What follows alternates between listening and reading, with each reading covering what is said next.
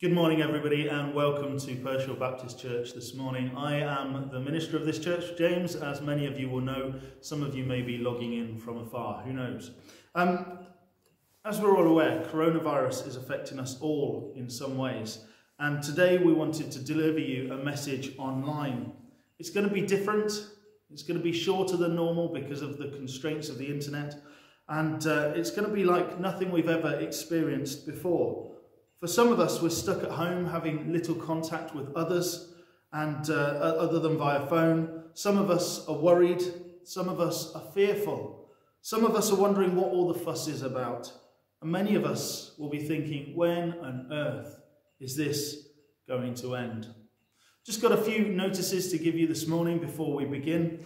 And uh, so I just want to let you know that we've done some changes to our website uh, to respond to what's going on, to help us all feel a bit more connected to one another. And uh, one of those changes is that we've added in a resources page with links to lots of different activities and videos for everybody so that we can engage with some other good resources and material that is out there.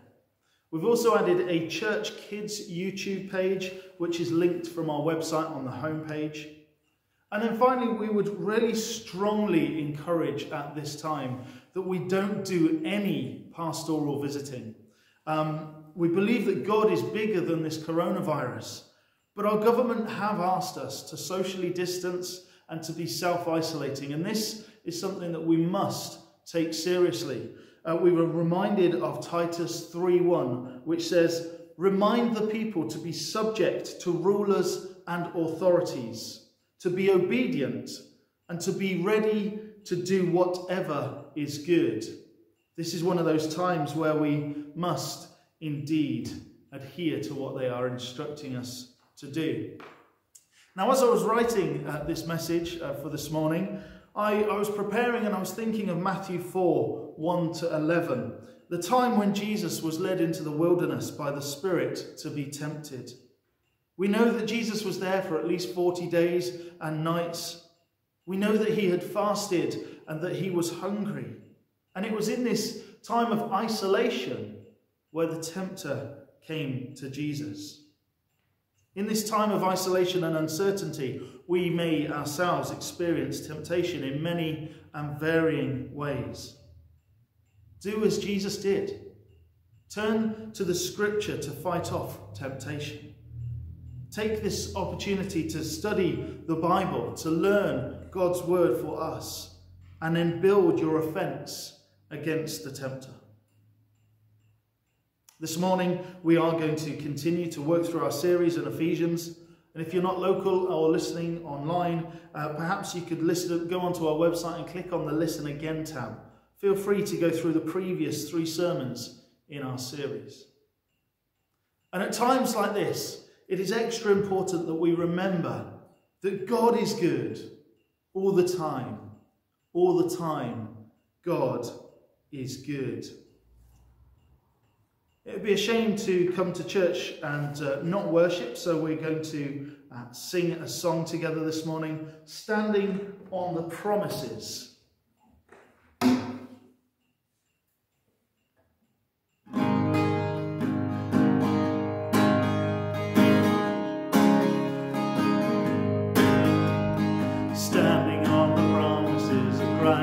My King, through eternal ages let his praises ring. Glory in the highest I will shout and sing, standing in the promises of God. Standing,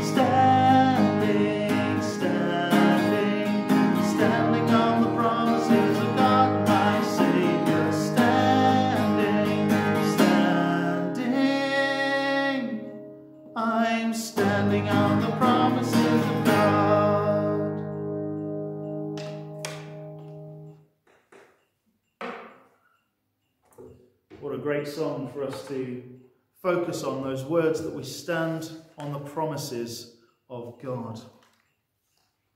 Today, of course, is Mothering Sunday. So let's not forget that we are grateful to God for our mothers and let us pray a prayer of thanks for mums. Lord, we bless you for our mothers. We thank you for their example of loving sacrifice. We thank you for their love and their care. We thank you that when we were young, they provided us with food. They played with us and they entertained us. They washed us, bathed us, and clothed us. We thank you for the ways which mothers make us laugh. We thank you for the ways that mothers picked us up and wiped us down and wiped away our tears when we fell. We thank you for all mothers, Lord, the ones who found it easy and those who struggled with parenthood. We thank you for those mothers who are still with us and we thank you for those mothers who live with us in our memories, but are no longer here. We ask your blessing on all mums who are still with us. Grant them your love, your peace, and your comfort.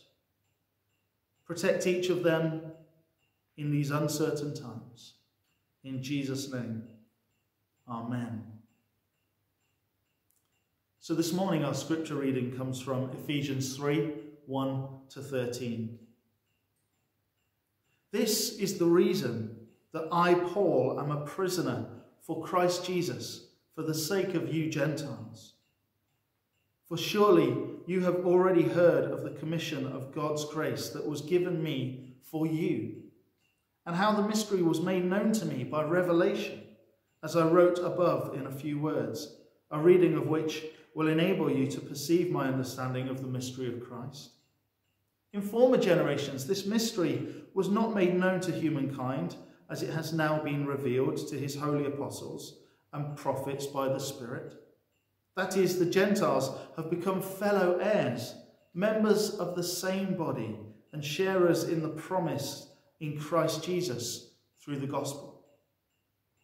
Of this gospel, I have become a servant according to the gift of God's grace that was given me by the working of his power.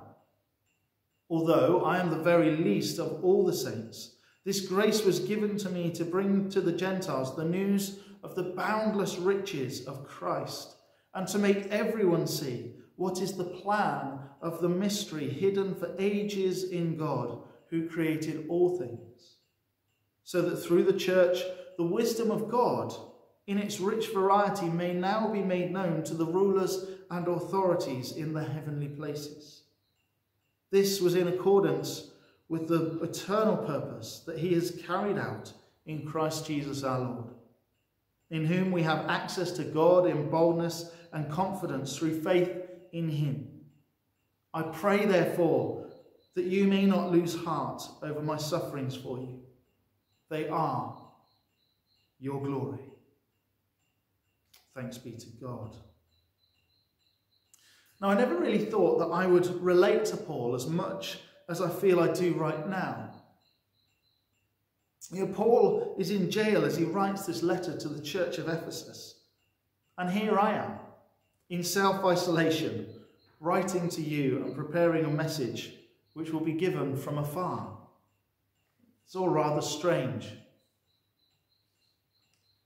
In his letter, Paul tells us that he was given the grace of sharing the gospel with us, the Gentiles, and to make everyone see the truth of the message of Jesus Christ.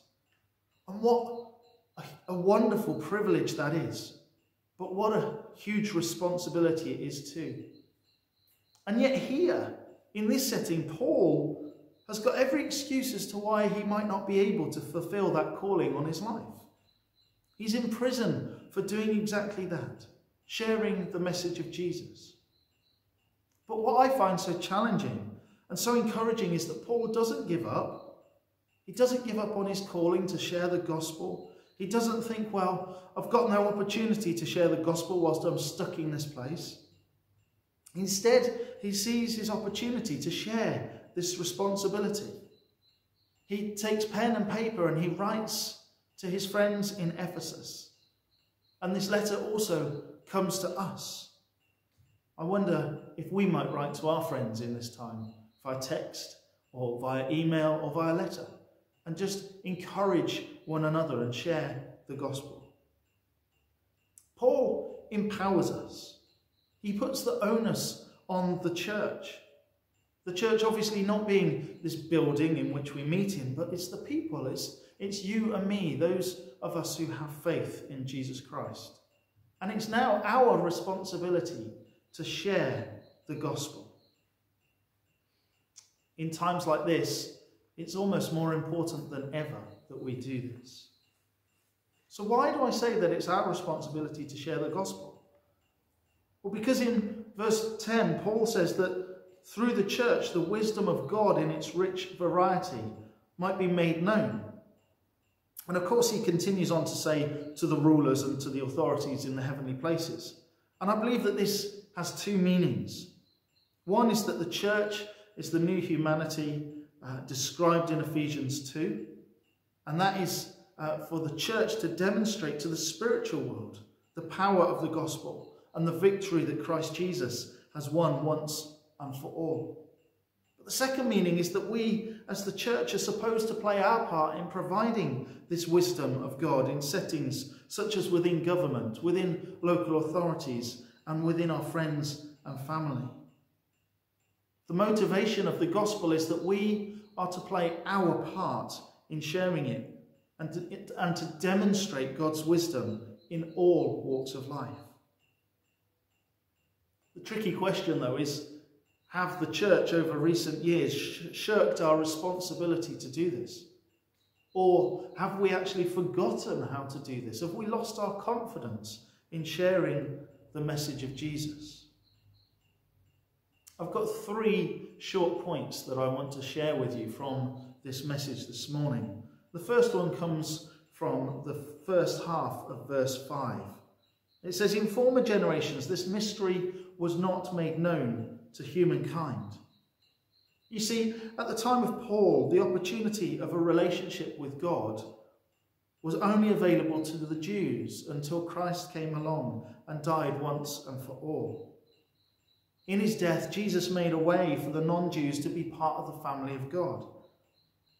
But it's this mystery, the mystery that was unknown to humankind, that I think we share the most similarities with. Today, in our, our day and age, many have largely, largely rejected God for whatever reason. And there are a great many who have no concept of God or the Bible, and so they dismiss the Christian faith from the, from the start. This provides us with an opportunity to actually teach people the story of God and the Bible from a fresh start. But we've got to do our part by knowing it and being inspired by it. So let's get into it and let's share this hope that we as Christians have. The second point comes from the second half of verse 5, and it says that as it has now been revealed to his holy apostles and prophets by the Spirit. You know, this part really excites me because I believe that Paul has put the onus on you and I to share this gospel. The mystery of this gospel, though, is revealed by the Holy Spirit. So the good news is that we're not alone in sharing the message of Jesus. Perhaps we've got friends or family that we've tried to share the gospel with. Maybe we feel we've blown our opportunities to share for one reason or another. Well, hope is not lost because it is the Spirit who reveals the mystery of the gospel. So maybe instead of just bombarding people with the words of Jesus, maybe we need to pray that God would make opportunities for this to come about. Maybe we need to ask that the Holy Spirit would reveal Jesus' life, death, and resurrection that he would make it known to our family and friends through the Holy Spirit and through our witness to them. Perhaps we could try that. And in, in verse 3, sorry, verse 8, it says, Although I am the very least of all the saints, this grace was given to me to bring to the Gentiles the news of the boundless riches of Christ. It's so easy for us to think things like, well, I can't do this, or I'm not good enough, or my past is too bad and too well known for me to be effective in sharing the gospel. But Paul's saying that he's the very least, and yet grace was still given to him. When we remember Paul's story, remember that he was the one persecuting Christians. He was the one putting them to death. But he was converted when he met Jesus in a flash of light on the road and he heard a voice, Jesus' voice, say, Paul, Paul, why do you persecute me? And what I'm excited about is that if a persecutor of Christians, if a violent man in his past can be used to impact the world for the gospel, then with God's help, you and I can certainly be effective in sharing this wonderful hope that we have too. Now, if you ever needed a motivating factor to share the gospel, then this is the time. More than ever in recent memory, people need to know that in Jesus Christ we have a hope and a future, and that those who are in Jesus do not have to fear death, for our life on earth is only temporary, whereas our life after this existence is eternal with God in heaven.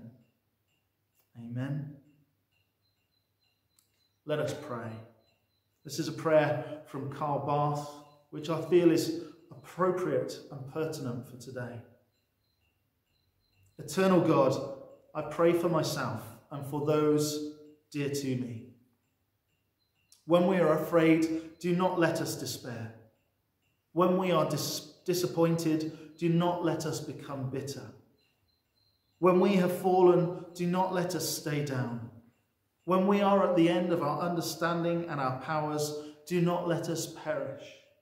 Rather, let us feel your closeness and your love, which you have promised especially to those whose hearts are humble and broken and who stand in fear before your word. I pray for my community and neighbours. Lord God and Father, much human concern falls away when your dear Son, our Lord and Saviour, comes into our lives and puts everything in order. Have mercy on those who, who do not know you and your kingdom, or do not yet truly know. And Lord, also on those who once knew everything well, but forgot it again, or misunderstood it, or even denied it. I pray for the church and the mission of Jesus Christ Lord my God, awaken your church. Give us your light. Be our teacher and our comforter. Speak to each member so that they may hear exactly what we need, what helps them. In all places, be gracious to those who gather as the flock of Christ. And I pray for all in authority for the needs of the world. Loving Father, you know the errors and the evil that mark our world, a dark and dangerous place on all sides. Blow with a fresh wind and disperse at least the thickest fogs in the heads of those who rule the world and of those who let themselves be ruled by them, and above all, in the heads of all who form public opinion. Lord, in your mercy, hear our prayer. Amen. We're now going to sing again, What a Friend We Have in Jesus.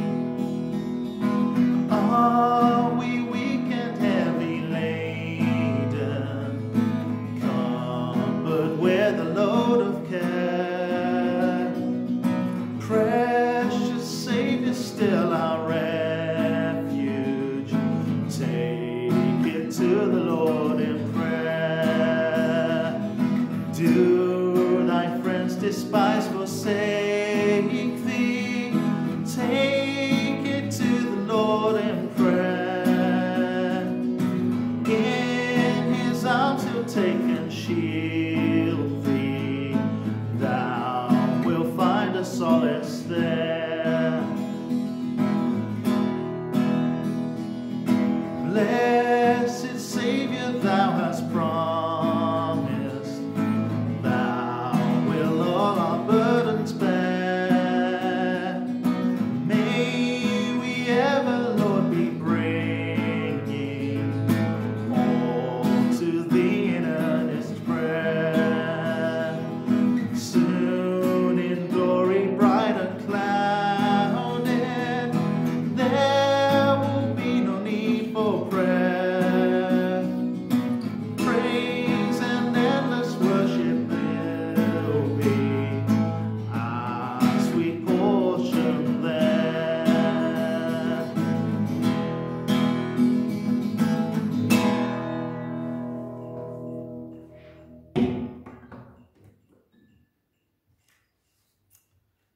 Finally, a blessing. May you know the peace of God in you. May you have peace in the midst of this storm because you are confident of your future in God. May you be motivated by the events of these troubled days to share the gospel with all you know. And may you observe the Spirit at work, revealing the mystery of the gospel in the world around you. In Jesus' name, Amen. God bless and stay safe.